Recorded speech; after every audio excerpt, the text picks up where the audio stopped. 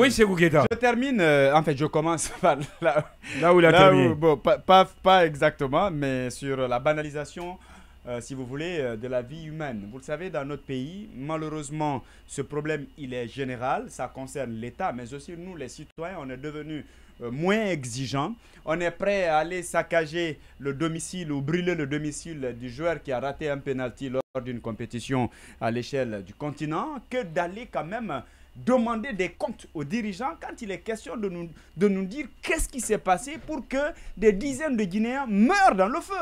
On est moins exigeant sur ça. Et quand il s'agit de certains trucs de futilité, on est prêt même à nous faire appeler par le nom de, de, de cette chose-là, où ça devient une sorte de challenge sur les réseaux sociaux, ça nous préoccupe davantage, mais ce cas-ci, on n'en parle pas. Combien de personnes ont perdu la vie dans des manifestations dans notre pays? Mais les gens ont même du mal à dire le nom parce que euh, le jour on décompte et puis après ça on oublie, on passe à autre chose. On est beaucoup plus préoccupé par autre chose. Ça c'est un problème. Mais pour comprendre la gravité de la situation et même aller jusqu'à vous dire combien de fois on est mal barré, quand on vous parle de vol au niveau du ministère de la Sécurité et qu'on vous dit, et, que jusque-là on ne vous dit pas qui a volé, ça vous amène, ça en dit long sur euh, si au ministère de la Sécurité il y a vol et vous on ne sait pas qui a volé, ça, vous, vous, vous poser la question comment est-ce qu'on peut s'attendre à ce qu'on fasse des enquêtes, des enquêtes et après, je pense qu'on a un sérieux problème.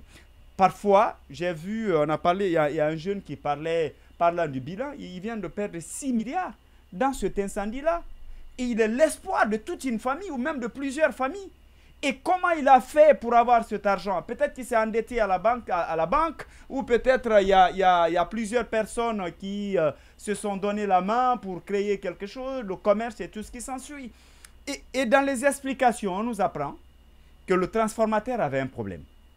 Et qu'après, EDG ou des agents de EDG. Pour le cas de Madinon Cet incendie en question, que les agents de EDG, en tout cas c'est l'information qu'on a reçue, hmm. sont venus pour réparer le transformateur qui avait, qui avait un souci. Hmm. Qu'ils ont passé plus de temps à brancher, débrancher ou je ne sais pas à faire quoi, hmm. et qui sont partis il y a ce moment qu'il n'y avait pas de courant. Et qu'après, à l'arrivée du courant, et puis il y a eu des étincelles et ensuite ça s'est transformé en incendie et paf, ça, ça, ça a pris, euh, voilà, le bâtiment a pris feu et que les sapeurs-pompiers aussi ont mis du temps avant d'arriver. Et après, c'est-à-dire, euh, ils ne parvenaient pas à maîtriser le feu et tout ce qui s'ensuit. Hmm. Et donc, si c'est EDG qui est, si c'est ce branchement qui est à l'origine, ça veut dire déjà que l'État en est indirectement le responsable. Et si ce n'est pas le cas, lorsque les citoyens perdent leurs biens de cette façon, je pense qu'il revient aussi à l'État de, de leur venir en aide, de les accompagner pour leur permettre de relancer leurs activités. Hmm. Il faut qu'il y ait ce volet social là pour euh, vraiment euh, euh, nous aider à, sortir vraiment de cette situation. Les enquêtes, on va toujours dire, on pourra pas, je ne sais pas si on ne les mène pas, ou quand on mène, c'est les résultats qui font qu'on n'a pas envie de mettre à la place publique, ou si c'est l'État qui est responsable, on n'a pas envie de se mouiller. Donc, quoi qu'il en soit, aujourd'hui, pour rassurer les citoyens, le Premier ministre doit donner le ton. C'est pourquoi j'ai posé la question de savoir l'origine du mal. Est-ce qu'elle est connue, mais entretenue par des personnes qui ne veulent pas peut-être que parce qu'il y a un problème, incompétence soit. Et pourquoi les marchés? Parce qu'il faut hmm. aussi se poser la question. Hmm. Ces derniers temps, quand même, il y a les, incendies.